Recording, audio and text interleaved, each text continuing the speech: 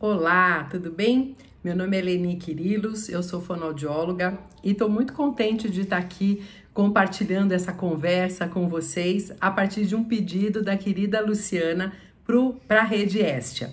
Bom, pessoal, eu sou da comunicação e para mim uma das coisas que mais impacta, que mais pega nesse momento que nós estamos vivendo é a falta da possibilidade de estarmos juntos, fisicamente falando.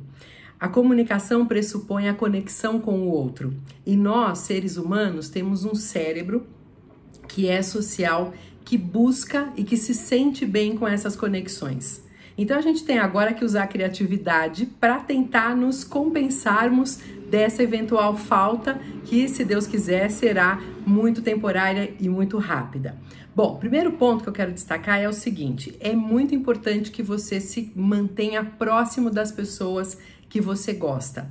E para isso, hoje, a gente tem recursos como uma chamada de vídeo ou como um telefonema, uma chamada de áudio. Então, faça uso disso. Até uma mensagem é interessante para você se fazer presente.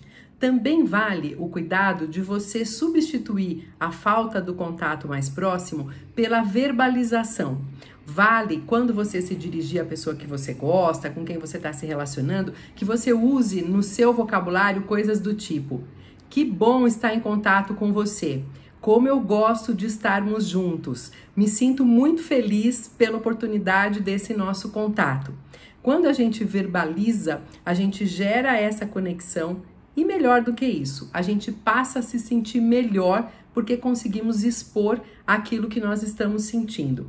No contato, mantenha, mesmo por meio do vídeo, o olho no olho, Deixe clara a sua vontade de interagir naquele momento e procure substituir a falta do abraço, a falta do, aperto de mão por coisas físicas que demonstrem isso. Eu posso escolher, por exemplo, simbolizar dessa maneira a minha vontade de abraçá-los, eu posso colocar a mão no coração, eu posso jogar um beijo. Especialmente, mantenha o olhar bem direcionado e sorria. O sorriso modifica o nosso estado, o estado de quem sorri e contagia o nosso interlocutor.